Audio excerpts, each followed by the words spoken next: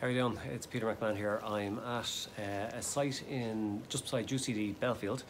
We have 127 fan coil units just uh, being installed here at the moment uh, by a contractor, a customer of ours. Um, just decided to drop out, have a look. Uh, we have a, uh, one of our service engineers on the roof commissioning four chillers, and uh, I've just come down to show you the fan coil units. Um, fan coil units is a big part of our business. It's really expanded in the last number of years, more so in particular the last six months. We've uh, had a massive increase. I think four different projects, probably about five, 600 fan coil units in total over the different projects. Um, so I just wanted to show you the, uh, a sample of some of the fan coil units that we sell uh, and what's being installed here at the moment. So if you come over here, um, Martin who's holding the camera, um, as you can see, this is the Aermec uh, FCZI range of fan coil units. They're inverter uh, fans. You can get them with various spigot connections. Um, as you can see, the spigots are connected off to the fuses here. Very neat, neat. Uh, obviously, it's not finished at the moment, but it will be a very neat project. Um, we can, you can see these are connected with external uh, PICV valves. It's a, a, a variable uh, flow system. So they uh, will be controlled by uh, the controllers that the client has got himself. We can supply with controllers or without, and we can actually supply what's called a VMF system, where we can connect up to, I think it's about 364 fan coil units uh, onto a dedicated system. Um, each fan coil can have its own wall mounted unit or you can connect a master and up to five slaves uh, to the master and they can all be connected back to a centralized system or to a BMS system if the client has their own BMS system. Um, so as you can see, oh by the way, we can also offer the, um, uh, uh, for example, a three port uh, VCF X4 valve which would be factory fitted for convenience, uh, which makes the installation cheaper and the, the valve kit uh, is, is, is, nice and neat uh, if it's factory fitted as well. So um, as you can see, uh, the uh, air intake on this particular unit um, is just open. They have a duct very close by.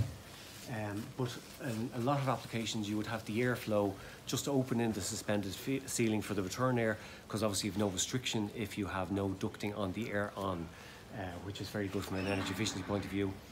Um, and the filters, as you can see, are very, very accessible. Um, of course, that's dependent on how they're being installed, but you can see they can be removed very easily uh, to be cleaned down. Um, the drain pipe, as you can see, is connected onto a centralised drain system here. Um, and you can see this biggest, like I said, uh, coming off, or your plan coming off there, uh, connected to your diffuser. So very nice project. Um, nice background here as well. Uh, we have the Aviva just across the way here in Ringsend. Uh, so it's quite a nice, uh, a nice site uh, nice application. Um, and what we might do is get up onto the roof um, perhaps another day at the moment. It's, it's, it's, very much a building site up there at the moment. So uh, we'll come back and do something up there maybe in a few days. Okay, I'm just down on one of the other floors here, uh, much the same. Uh, another load of uh, Aermec uh, FCZI Fanco units. We do some of the larger range installed here as well, the VED range uh, for higher airflows, higher, higher capacities. Um, but uh, again, uh, nice to see. It's a very nice, neat installation here. Um, uh, another point just to mention that the Aermec factory, uh, they're, they're the biggest fan coil unit producer in Italy. Um, they're, they're the market leader in Italy, uh, one of the market leaders in Europe. They can produce um, approximately a thousand fan coil units per day with the robotics. Uh, very impressive. Um, probably what's most impressive about the fan coil units, we can't hear them here at the moment, unfortunately. Um, not that you would when they're on, but nothing's powered on. Um, but they invested massively in the R&D. They have an anechoic chamber where they worked in conjunction with uh, the Padua University um, and with their own injection molding machines and, and uh, developed a prototype um, uh, impeller fan uh, made of an ABS uh, material. Because basically the noise uh, on fan units is generated from the curvature in the fan blade and of course the material in the fan blade. Um, so a massive amount of uh, effort went into that and they developed what's uh, believed to be the quietest fan coil unit in the world. Um, so if you're looking for fan coil units, uh, especially for a nice quiet uh, office environment, uh, be sure to give us a call.